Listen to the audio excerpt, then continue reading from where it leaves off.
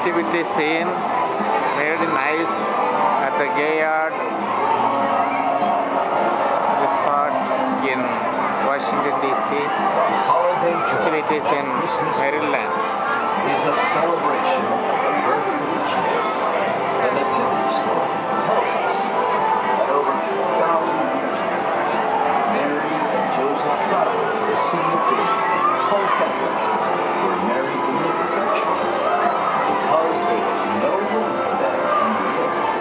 she wrapped her newborn child in swaddling clothes and laid him in a manger.